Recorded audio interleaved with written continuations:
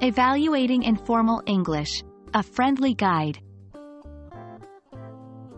Hey there, language learners. Today, we'll explore a fascinating aspect of English language learning. Evaluating the use of informal language.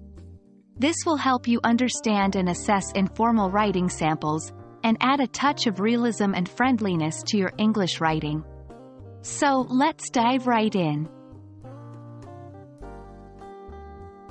Informal language is the way we speak with friends and family.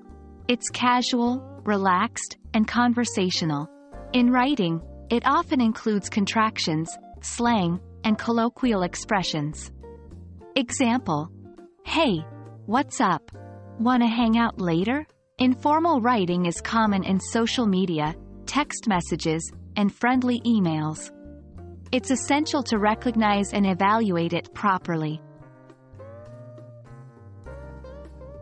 Let's break down some key characteristics of informal writing. 1. Contractions. Such as I'm instead of I am, or they're instead of they are. 2. Slang and idioms.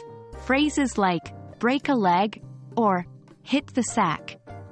3. Short sentences, often used to create a casual tone. 4. Personal pronouns like I, you, and we. Recognizing these features helps in understanding and appreciating the context of informal language. Informal writing isn't suitable for all contexts. Here's a quick guide. Use it in friendly emails, social media posts, or personal blogs. Avoid it in formal essays, business reports, and academic papers.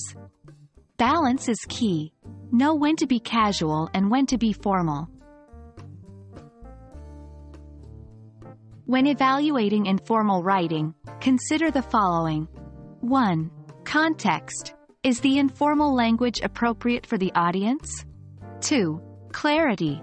Is the message clear despite the use of slang or colloquial expressions? 3. Consistency. Is the informal tone maintained throughout the writing? 4. Creativity. Does the informal language add character and voice to the writing? These aspects help in a fair and thorough assessment. And that's a wrap on evaluating informal English writing. I hope you've enjoyed this friendly journey into the casual side of the English language. Remember, informal writing is not incorrect. It's just different. It's all about knowing when and how to use it.